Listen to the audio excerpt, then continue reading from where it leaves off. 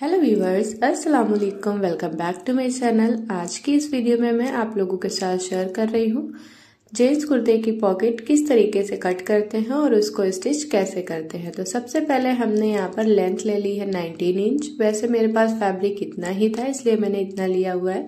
Otherwise आप 20 inch का भी ले सकते हो। इसके बाद हमने कुछ इस तरीके से स्ट्रेट लाइन ड्रॉ कर लेनी है, ताकि हमारे जो पॉकेट है वो दोनों ही साइड से इक्वल हो। तो यहाँ पर हमने यहाँ पर स्ट्रेट लाइन ड्रॉ कर ली है और इसके बाद हमने वेट चेक कर लेना है। यहाँ पर मैंने सेवन इंच रखा हुआ है। अब इसको हम कट कर लेंगे। बहुत ही इजी सा स्टेप आप लोगों के साथ शेयर कर रही हूँ।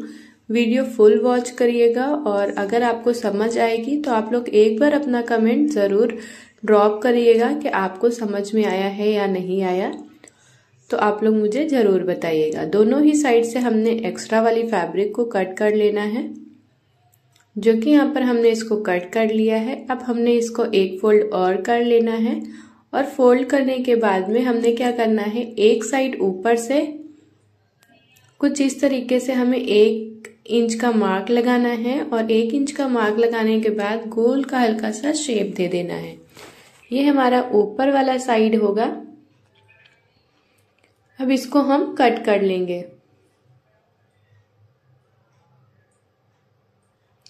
तो यहाँ पर देखिए, हमने पॉकेट को कट कर लिया है। अब नीचे साइड का जो ज्वाइंट वाला पार्ट है, इसको भी हम अलग कर लेंगे।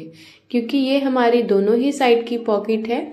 तो मैंने यहाँ पर दो साइड की पॉकेट एक साथ कट करी है। अगर आप सिंगल कट करना चाहो तो सिंगल भी कट कर सकते हो। चलिए, अब इसको स्टिच करके दिखाते हैं। सबसे पहले हमने कुछ इस तरीके से नीचे की साइड से फोल्ड कर लेना है। और फोल्ड करने के बाद हमने क्या करना है, दोनों साइड से एक एक इंच लेते हुए इस पर सिलाई चला लेना है और सिलाई को हमें लॉक कर लेना है। तो एक साइड हमने सिलाई लगा ली है, अब इसी तरीके से हमें दूसरी साइड पे सिलाई लगाना है और ध्यान रहिए हमें रॉन्ग साइड पे सिलाई लगाना होगा। तो यहाँ पर हमने सिलाई लगा ली है। और ये सिलाई लगाने के बाद में एक्स्ट्रा फैब्रिक साइड से हम कट कर देंगे।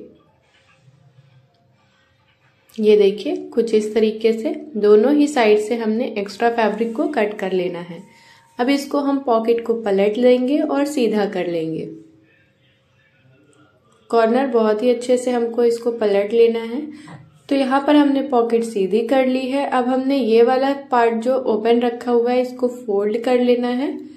फोल्ड करके इसमें सीधी सी सिलाई चला देना है। तो यहाँ पर देखिए मैं थोड़ा सा वी शेप में देने वाली हूँ।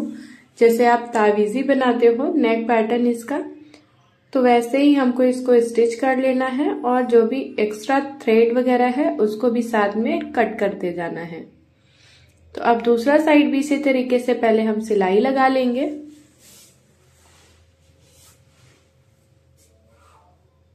तो यहाँ पर हमने दूसरा साइड सिलाई लगा लिया है। अब ये सिलाई के बाद में हमने एक्स्ट्रा थ्रेड कट कर लेना है और अब हमें वी का शेप देना है। तो एक कॉर्नर से हमें उठाना है और दो फोल्ड का फैब्रिक करना है और फिर इसके बाद सेम हमको दूसरा साइड लेना है और दूसरा साइड भी दो फोल्ड करके सिलाई लगा देना है। इसको हमें पूरा वी शेप बना देना है ताकि हम इसको इजली तरीके से अपने कुर्ते पे लगा सके। तो हमने यहाँ पर पॉकेट रेडी कर ली है। अब ये पॉकेट हमने क्या करना है? अपने कुर्ते पे लगाना है। तो सबसे पहले यहाँ पर देखिए, हमने कुर्ते का पार्ट जो है, वो रेडी कर रखा है। और यहाँ से हमको पहले स्लीट के पास से कुछ इस तरीके से फोल्ड कर देना है। फोल्ड के बाद में हम इस पर पिनअप कर लेंगे ताकि ये हमारा इक्वल रहे। इसी सबसे हमारे कुर्ते में फिनिशिंग आती है। तो यहाँ पर हमने जो पॉकेट वाला एरिया है, जहाँ से हम हाथ का गैप रखा हुआ है तो वहाँ से हमने पिनअप कर लिया है, फिर पॉकेट का सेंटर बना लेना है। पॉकेट का सेंटर बनाने के बाद में अब हमें कुर्ते के सेंटर पे रखना है। ये देखिए, जो हमने पॉकेट बनाया है, अब इसको हमें एक कॉर्नर से सिलाई लगाना स्टार्ट करना है। लॉक करते हुए दूसरी साइड पे हमें भी इसी तरीके से सिलाई लगा लेना है, सीधा लगाना है सिलाई। कुछ इस तरीके से। डबल लॉक कर लेना है। तो यहाँ पर हमने पॉकेट को इस तरीके से रखते हुए इस पे सिलाई लगा लिया है। सिलाई लगाने के बाद में अब हमें इसको बिल्कुल स्ट्रेट कर लेना है। कोई भी साइड से कपड़ा हमारा ना दबा रहे।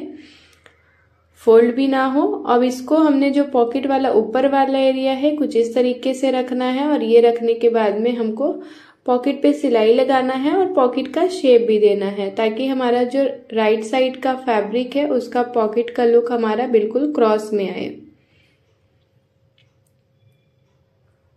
तो हमने इसी तरीके से जिस शेप में हमने पॉकेट रेडी किया है, उसी शेप में हमको इसको भी सिलाई लगा लेना है। ध्यान रहे, नीचे का फैब्रिक बिल्कुल फोल्ड नहीं होना चाहिए।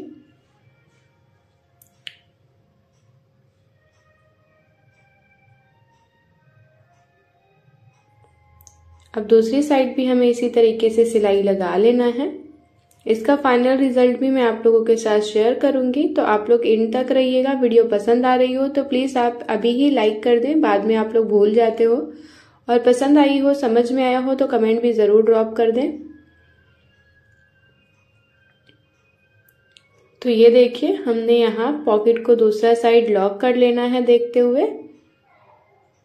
यहाँ पर हमने पॉकेट को लॉक कर लिया है। अब मैं इसको आपको सीधा करके दिखाती हूँ। तो ये देखिए, सीधा करने के बाद में हमारा जो पॉकेट है कुछ इस तरीके से आया है। बहुत ही फिनिशिंग के साथ में रेडी हो चुका है हमारा पॉकेट और आप देख सकते हो। नीचे भी हमने अच्छे से इसको पैक कर दिया है। तो वीडियो पसंद